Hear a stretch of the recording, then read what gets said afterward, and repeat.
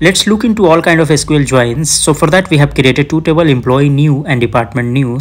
Employee ID 2 does not have any department ID and department ID 2 is not present in the employee new table. Okay, let's look into the inner join first. So these two records are not going to come into the result. So select a star from employee new inner join department new on e dot department id is equal to d dot department id let's remove a star with some uh, column name which we want to extract in the result okay?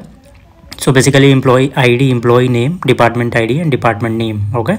And when you execute it only the common records between these two tables are coming into the result okay in left join or left outer join, the matching record from both the tables will be coming in the result plus unmatched record from the left table will be there as part of the result as well. So employee ID 2 is there. In right outer join, the common record between these two tables will be there as part of result plus unmatched record from the right hand side table will be there. So admin is there.